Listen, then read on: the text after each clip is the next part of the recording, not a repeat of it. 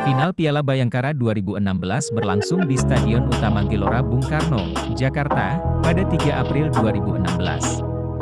Babak final mempertemukan Persib Bandung dengan Arema Kronos, dan Bobotoh untuk kedua kalinya diperkenankan hadir ke Jakarta.